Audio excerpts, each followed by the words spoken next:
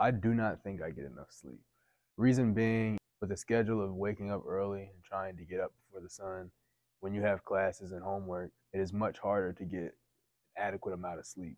With the end of the semester approaching fast, students are studying hard to pass their finals. Studies show this is the most stressful time for students, breaking their already abnormal sleep schedules.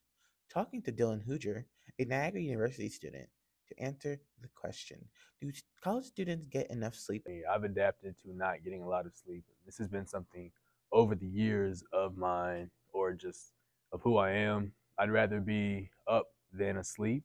You have to be up to be productive. So not getting a lot of sleep is something I've just grown accustomed to. Staying awake throughout the day, honestly, just I try to move with purpose. I like to establish things that I like to get done. I have a task that I like to get done. So if I don't have any of those tasks done, then I know I have to stay awake to get those things done. If I don't get them done by the end of the day, I feel like I was very unproductive. Not only does this happen to men, but it also majorly happens to women, since statistically women are more likely to go to college. I definitely think I do not get enough sleep. I usually get like maybe four to five hours. I stay up so that like I stay up on my phone or like the TV or video games so that I don't have to think about any of the things that are stressing me out.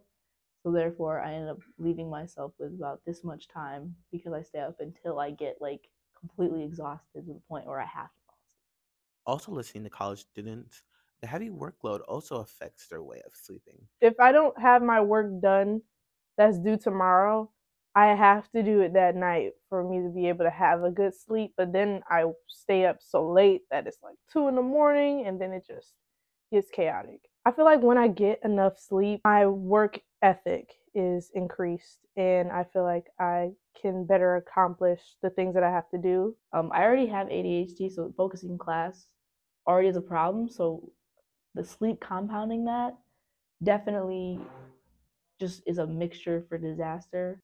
Due to overbearing schedules, students have to energize themselves just to make it through the day.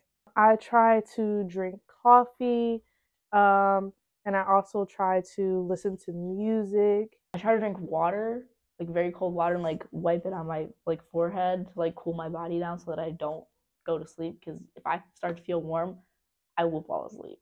There are times throughout the day where I find myself wanting a nap or I find myself tired at certain times of the day. So I'd say that my schedule really dictates how much sleep impacts me. From the mouths of students, they do not believe they get enough sleep. A good way for you and other college students to get more sleep is to limit food consumption two hours before going to sleep. I'm Jay, reporting live from Niagara Falls.